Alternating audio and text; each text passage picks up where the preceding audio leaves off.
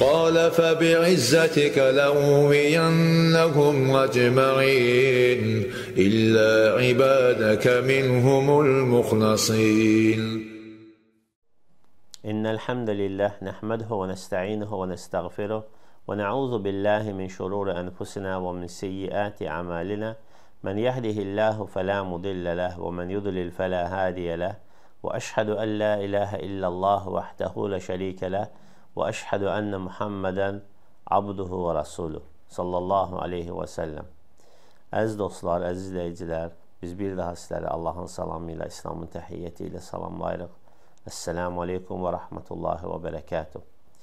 Sonra artıq bildiyiniz kimi silsiləvi olaraq Qurani Kərimdən Uca Allahdanla mübarək kəlamlarının təfsiri barədə dərslərimiz davam edir. Bu günləri artıq ə, Bəqərə surəsinin 16-cı ayəsini oxuyacağıq və inşallah bunun təfsiri ilə tanış olacağıq və sonra isə vaxt qaldıqca növbəti ayələrdən də oxuyacağıq. Və beləcə artıq biz münafiqlər barədə ə, nazil olan ayətləri oxuyuruq. Uca Allah Taala buyurur ki: "Ulaikellezine iştaravu'd-dalalete bil-huda." Onlar o kəslərdir ki, zəlaləti hidayətlə aldılar. Zəlaləti hidayətlə dəyişdilər. Fəmə rabihət ticaratuhum və mə kənu muhtədin. Və onların ticarəti də və onların ticarəti də xeyir tapmadı və həmçinin də onlar hidayət yoluna da yönəlmədilər və onlar hidayət yolunda tuta bilmədilər. Demək, Allah Taala onları vəsf eləyir və onlarla misal çəkir. Quran-ı Kərimdə Allah Taala bir çox yerdə bir çox məsələləri misal olaraq izah eləyir. Və Allah Taala Quran-ı Kərimdə müəyyən bir halları, vəziyyətləri və şəxsləri və yaxud da hadisələri misallarla izah etməyində məqsəd ondadır ki, insanlar məsələni olduğu kimi anlasınlar deyə. Çünki Allah Taala Quran-ı Kərimi bəyan olaraq göndərib. Allah Taala Qurani Kərimi hidayət, nur olaraq göndərib. Və Allah Taala da Qurani Kərimi o şəkildə nazil etmişdir ki, maksimum onun anlaşılması asan olsun deyə, zehinlərə, ağıllara, dərrakələrə çatsın deyə və insanlar bunu anlayıb və bundan ibrət alsınlar. Və həmçinin də Allah Taala bu ayətdə münafiqlərə onların halın özlərinə elə bir tərzdə izah edir ki, sanki onlar kənardan özlərinə baxıb öz hallarını görülmə, görürlərmiş kimi. Baxın, Allah Taala onların halın tacirlərin misalında çəkdi. Tacirlər bilirsiniz, bir şeyi alırlar öz kapitalları ilə, sonra onun üzərinə öz faydaların, gəlirlərin, qazancların əlavə eləyirlər. Ondan sonra onu satıb oradan xeyir əldə edirlər. Və ticarətin sələmdən əsas fərqi və özəlliyi ondadır ki, ticarətdə ziyan ehtimalı da vardır. Ola bilsin ki, tacir ticarətində ziyan eləsin. Və burada da Allah Taala münafiqlərin misalını ticarətində ziyana düşmüş tacirin misalında çəkməkdədir. Və buyurur ki, onlar, yəni münafiqlər o kəslərdir ki, zəlaləti hidayətlə aldılar. Burada sanki bunların kapitalı, əllərindəki pulları, başqa sözlə desək, mayaları hidayətdir. Və onlar həmin hidayəti verib zəlalət aldılar. Sual yarana bilər ki, yəni münafiqlər zaten əvvəldən hidayətdə olmayıblar axı. Onlar İslam'a münafiq kimi daxil olublar. Və onlarda olmayan şeyi necə verə bilərlər? Yəni olmayan o hidayəti necə verib zəlalət ala bilərlər? Cavab da ondadır ki, sanki hidayə, Allah Taala hidayəti onlara elə bir tərzdə izah elədi, yönətdi, irşad, irşad elədi. Allah Taala'nın ayətləri ilə Peyğəmbər sallallahu əleyhi və səlləmin Allah Taala'nın izni ilə göstərdiyi o möcüzələrlə Allah Taala hidayəti onların ocunun içinə qoymuşdu. Allah Taala hidayəti sanki bir bişmiş yemək kimi onların ağzına qoymuşdu. Sadəcə bir dənə çiynəyib udmaqları lazım idi. Lakin onlar həmin o hidayəti nə etdilər? Götürüb verdilər əvəzinə zəlaləti aldılar. Allahdan gələn hidayəti şeytanın gətirdiyi və şeytan xislətlərin götürdüyü, göstərdikləri küfrlə neynədilər? Dəyişdilər. Və təbii ki, bu ticarətin də aqibəti nə olmalıdır? Ziyandan, xüsrandan başqa bir şey ola bilməz. Təsəvvür eləyin, e, burada çox gözəl bir şəkildə Allah Taala misal çəkir tacirlərə oxşadaraq, tacirləri örnək verərək. Yəni hər hansı bir ağıllı və yaxud da təcrübəli bir tacir öz kapitalın verib yerinə zay olan, xarab olan və yaxud da zay olmaq, xarab olmaq ehtimalı olan hər hansı bir malı alarmı? Əlbəttə ki, xeyr. Alarsa da artıq o ziyana və xüsrana düşər. Ya onun ağılsızlığının, ya da təcrübəsizliyindən xəbər verər. Bunlar da onu sanki gözləri ilə gördükləri bir halda, qəlbləri ilə duyduqları bir halda, qulaqları ilə eşitdikləri bir halda nə etdilər? Qurban verdilər, dəyişdilər. Lakin onlarla görməyi, eşitməkləri də inşallah növbəti aylar bunu izah eləyəcək ki, əslində onlar heç nə görmürlər, nə də eşitmirlər. Çünki gördüklərinə və eşitdiklərinə məhəl qoymadılar. Görməzdən, eşitməzdən, duymazdan gəldilər və Allah da onları kar-kor üçün bir çox yerdə vəsf etməkdədir. Hidayət, Allah Taala'nın burada misal çəkdiyi hidayət təvəccüh mənasındadır. Yəni üz tutmaq, yönəlmək mənasındadır. Və onlar həmin o üz tutmağı, yönəlməyi, hansı ki, haqqa tərəf yönəlməli idilər, nə ilə dəyişdilər? Zəlalətlə. Zəlalət sözü isə burada mənası ondadır ki, həqiqi məqsəddən uzaqlaşmaq. Onlar həqiqi məqsəddən, Allah Taala'nın insanın yaradılış məqsədi olan hidayətdən, elmdən, nurdan, təvhiddən nə etdilər? Uzaq durdular və həmin o hidayət, o qiymətli hidayəti o qiymətsiz, nəinki qiymətsiz, sonu əzabla, e, rəzalətlə bitən e, zəlalətə qurban verdilər. Orada Allah Taala'nın deməsi ki, "Fəmə rabihət ticaratuhum" fə qoşmasının gəlməsi burada fə tərtib mənasını verməkdədir və həmçinin tezlik mənasını verməkdədir. Yəni madəm ki onlar bu ticarəti seçdilər, fəmə rabihət ticaratuhum və sözsüz ki, dərhal bu mənaları ifadə edir. Çünki ərəb dilində vav qoşması da var, fə qoşması da var. Fə qoşması vavdan daha yaxın, yəni vədən daha yaxınlıq mənasını ifadə edir. Yəni onlar ki, bu ticarəti seçdilər, artıq etdilər və dərhal da ziyana düşdülər. Və dərhal da onların ticarəti batdı. Ziyan, xüsran onların e, onların o işlərin sonucu oldu, nəticəsi oldu. Ona görə Allah Taala onları bu şəkildə vəsf etməkdədir. Çünki tacirlər ümumiyyətlə qazancdan çox öz kapitalları barədə düşünürlər. Və həqiqətən də bu belə də olmalıdır. Yəni kapital olmasa zaten qazanc hardan gələ bilər? Aydındır? Bunlar isə nəinki qazanclarını düşünmədilər, əllərində olan o kapitalı belə qurban verdilər. O da nə idi? Allah Taala'nın onlara verdiyi hidayət neməti. Amma o ki qaldı ki, bəzi insanların ə, bu kimi ayətlərə məcaz yönündən yanaşması, məcaz ümumiyyətlə ə, e, İslam aləmində müzakirə mövzusudur. Həmişə ki, Qurani-Kərimdə məcaz var, yoxsa yoxdur. Bu barədə alimlərin bir çox görüşləri vardır. Yəni o deyən alimlər də məcazı Qurani-Kərimdə görənlər də bu kimi ayətləri məcaz yönündən təfsir edirlər. Məcaz mövzusunda alimlərin fikirləri odur ki, birincisi deyirlər ki, Qurani-Kərimdə məcaz var və istənilən ayətlərdə məcaz ola bilər. Bəzi alimlər deyirlər ki, Qurani-Kərimdə məcaz var, lakin bu kimi misallardadır. Bu kimi misallarda ki, insanların zehninə çatmaq üçün. Lakin Allah Taala'nın ad və sifətlərində, qeybi məsələlərdə, bu kimi işlərdə məcaz yoxdur. Bəzi alimlər isə deyirlər ki, baxmayaraq ki, ərəb dilində məcaz var, lakin Qurani-Kərimdə məcaz yoxdur. Çünki məcaz sözü özü özlüyündə həqiqətin əksi deməkdir. Həqiqətin əksi deməkdir. Və ona görə də biz baxsaq İslamın ilk 3 əsrində və yaxud da ilk 2 2 əsr və 3-cü əsrin ortalarına qədər məcaz söhbəti ümumiyyətlə olmayıb. Məcaz haçan gəldi? Kəlam elmi e, İslam mədəniyyətinə daxil olandan sonra və baxmayaraq ki, İmam Əhməd özü məcaz sözü işlədiblər filan və bununla da kəlam əhli istəyirlər göstərməyə ki, yox, sələf alimləri də elə məcazı görüblər. Xeyr, məcaz sözünü İmam Əhməd və yaxud da qeyriləri işlətməkdə məqsədləri icazəli, cavaz mənasındadır. Ki, yəni onlar deyirlər ki, bu məsələ məcaz, yəni bu məsələ icazəlidir. Bu sözün bu şəkildə işlənməsi icazəlidir. Heç də onlar Quran-ı Kərimə məcaz nisbət eləməyiblər. Necə də nisbət eləyə bilirlər ki, məcaz həqiqətin əksi deməkdir. Bunu hər kəs etiraf edən bir şeydir. Başqa qism alimlər isə deyirlər ki, ümumiyyətlə ərəb dilində belə məcaz yox, məcaz yoxdur. Və inşallah ki, ən doğru olan görüş də məhz budur. Çünki ərəb dilində biz desək ki, məcaz var, çünki bu həqiqətin əksi deməkdir. Və Quran-ı Kərim də ərəb dilində nazil olmuşdur. Artıq biz məcburən həmçində Quran-ı Kərimin ən azından bəzi sözlərinə məcaz deməliyik.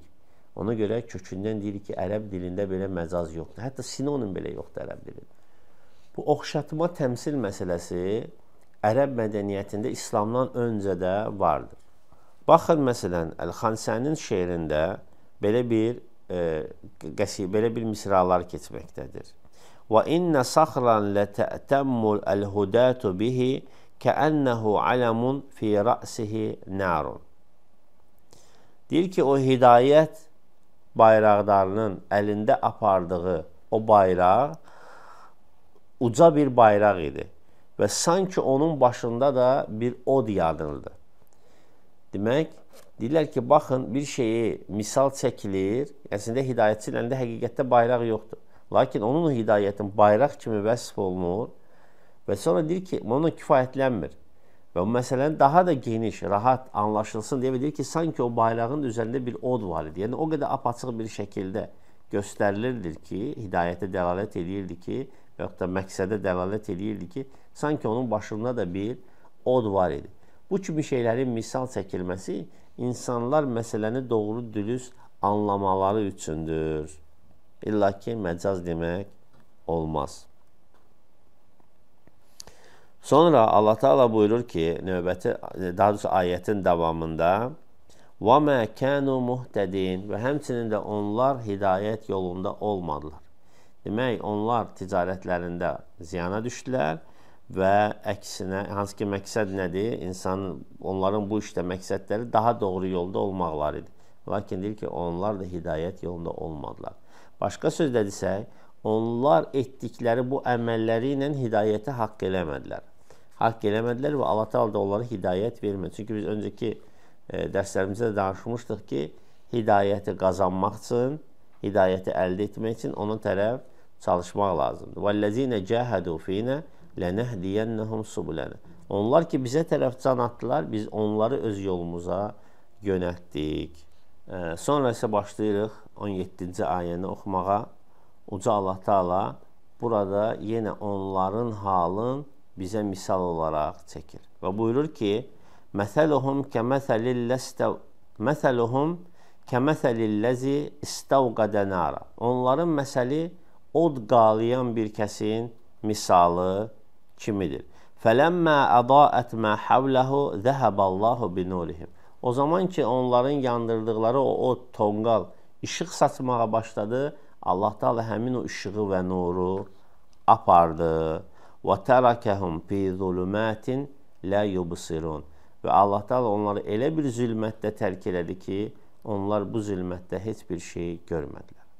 Baxın görün, biz misallar barədə danışdıq. İnşallah indi bu ayətdə də misal keçir. E, tay o misal barədə danışmayacağam çünki danışdıq o barədə. İndi niyə görə Allah Taala onları bu şəkildə vəsf eləyir? Təsəvvür eləyin, baxın bunların vəsfinə. Yəni doğrudan da təfsirə keçməmişdən öncə onu deyim ki, doğrudan da çox təəccüblüdür ki, insanlar sağ ola-ola həyatlarında eşidirlər ki, onlar barədə ayətlər nazil olur. Allah Taala onları bu şəkildə vəsf eləyir. Öz halların onların qarşısına qoyur. Sanki onlar yəni ki, o vəziyyətdə Taala misal çəkir ki, yəni ekranda özlərini müşahidə edirlər sanki gözlərin qarşısında ki, bunların halı nə qədər pisdir. Yenə də onunla hidayətə gəlmirdilər. İndi baxın Allah Taala onları necə misal çəkir. Yəni insandır, səhradadır. Harasa getmək istəyir. Və həmçinin də qızınmaq istəyir. Oda ehtiyacı var, işığa tonqala ehtiyacı var. Və bu zaman bir tonqal yandırır. Və tonqal alışır və artıq ətrafı işıqlandırır. Ətraf işıqlanandan sonra o işığı aparır nəysə və o işıq sönür. Və sonra onlar qalırlar həmin o zülmətin içində. Yəni o istədikləri şeylə şey onlar üçün hasil olmur. İndi baxın münafiqlərin halına. Onlar bu dünyada zahirən özlərin müsəlman kimi göstərməyə çalışdılar. Həmin o tonqal onların dedikləri bu dünyada qəlblərinin təsdiq etmədiyi, qəlblərinə iman olaraq çökmədiyi la ilahe illallah kəlməsi idi. Muhammeden Rasulullah kəlməsi idi. Və onlar sanki o tonqalı yandırdılar bu dünyada. Və Allah Taala onları öldürərək, yəni onların əcəli gələndə, onlar ki öldülər və Allah Taala o nuru onlardan apardı. Sual yaransa ki, yaxşı bu dünyada onlar onu nə nur qazandılar ki? Cavab da odur ki, müsəlmanların içində canların, malların, qanların əmin tutdular. İkincisi, müsəlmanlara gələn qənimətdən, beytulmaldan onlar da yararlanıb faydalandılar və o yandırdıqları o tonqalın odu müəyyən qədər onlara istiliyi və işığı oldu. Lakin ölüm gəlməklə Allah da onların ruhun alması ilə artıq onları elə bir zülmətdə tərk elədi ki, görməz bir hala gəldilər. Artıq heç bir şeyi görmürlər. Başqa alimlər deyirlər ki, Allah Taala onların tonqal qandırmasın, nur nurla onların yararlanmasın, onların hidayəti eşitməsi iləndir. Yəni onlar hidayəti eşitdilər, gördülər, lakin küfr etdikdən sonra isə artıq o həmin hidayətin nuru, işığı onlardan getdi. Bu xüsusda Allah Taala buyurur ki, Quran-Kərimdə: "Zəlikə bi ennehum amanu thumma kafaru." Münafiqun surəsi 3-cü ayə. Onlar iman gətirdilər, sonra isə ardından küfr etdilər. İmanları onların zahiri iman idi. Zahirən iman gətirdilər, batinən isə küfr etdilər. Zahirən imanı həmin o tonqalın biraz işığı idi ki, onlara əhatə elədi. Sonra isə küfr etməklə Allah Taala onlardan o nuru götürdü, apardı. Və onları görməyəcəkləri bir zülmətdə tərk elədi. Görməyəcəkləri bir zülmətdə tərk elədi. Və həqiqətən də insan hidayətdən uzaq düşəndə, insan zəlalətə düşəndə onun artıq o görmə, eşitmə, dinləmək hissiyatlarının ona heç bir faydası olmur. Çünki həqiqətən də insan kör kimi, kar kimi olur. Və Allah Taala bu kimi misalları onlara çəkməklə onları dərk eləməyə səsləyir sanki. Allah Taala buyurur ki, Qurani-Kərimdə: "Və tilkəl əmsalu nadribuha lin-nasi və ma ya'qiluha illəl-alimun." Allah Taala bu kimi misalları insanlara çəkir, lakin bunu yalnız alimlər, yəni bilik sahibləri idrak eləyirlər. Demək burada bilik də yəni hidayətin nurudur əsasən. Demək bu misallar çəkilir.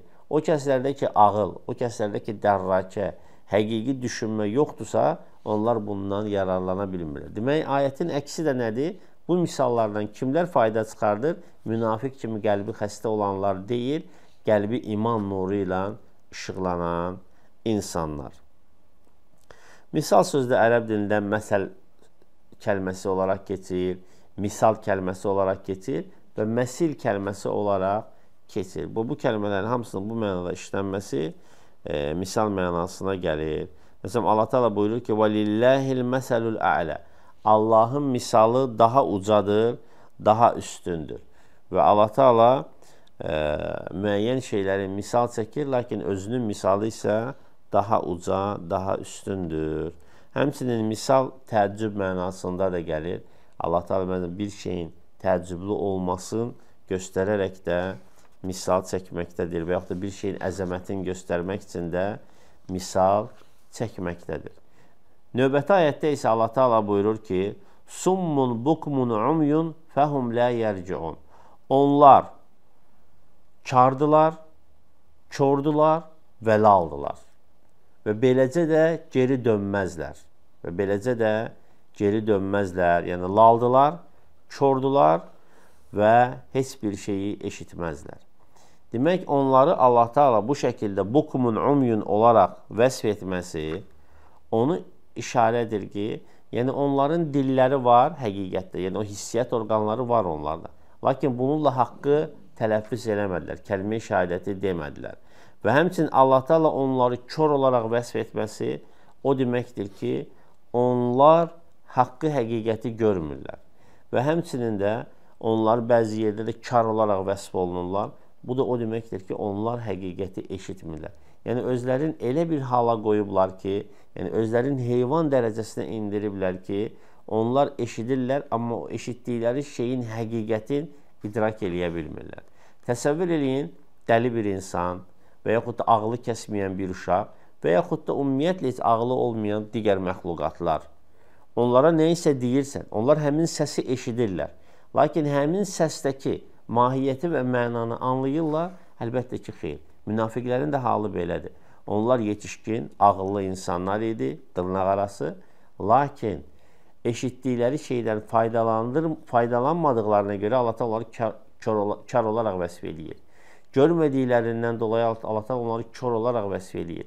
Onu tələffüz edib onunla ona sahib olmadıqlarına görə Allah onları lal olaraq vəsf eləyir.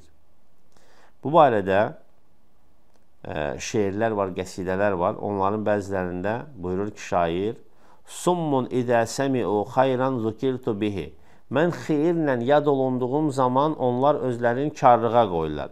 "Və in zukirtu bisu'in indahum uzinu." Və deyir, mən pis şeylə onların yanında yad olunduqda isə onlar bunu eşitməyə başlayırlar. Demək, elə insanlar var ki, istədikləri vaxt eşidirlər, istəmədikləri vaxt sərf eləməyən şey onlara olanda eşitməməzlikdən gəlirlər. Başqa şeirdə gəlir ki, Asammu aniş şeyilləzi la uriduhu. Mən istəmədiyim şeyi eşitmirəm. Və in zikir e, və əsma'u xalqillahi hina uridu. Və eşitdiyim şeyi isə Allahın məxluqatından eşitməyə başlayıram. Demək onlar neynirlər? İstədiyi şeyi eşidib, istədiyi şeyləri eşitməmək barədə kar-kör sözləri də ifadə olunur. Amma o ki qaldı ki, gəlməsi ayətin sonunda ki, fəhum lə yərciun və sözsüz ki, onlar dönməzlər, yəni hidayətə dönməzlər. Allaha tərəf dönməzlər, imana tərəf dönməzlər. Niyə görə? Çünki artıq onları hidayətə, imana döndərəcək şeyləri onlar itirmişdilər. Və madəm ki, o şey onlarda yoxdur, demək onlar bundan artıq məhrumdular. Və inşallah ki, bu günlük bununla kifayətlənək. Artıq növbəti görüşümüzdə biz Bəqərə surəsinin 19-cu ayəsini oxuyub onun təfsiri ilə tanış olacaq. Allah Taala bizləri eşidib faydalanan və dinləyib ən doğrusuna tabe olan kəslərdən etsin və ən doğrusunu Allah bilir. Və axiru dəvana enilhamdülillahi rabbil alamin. Vessalatu vesselamu ala nebiyyina Muhammedin və ala alihi və sahbihi ecmaîn. قال فبعزتك لأغوينهم أجمعين إلا عبادك منهم المخلصين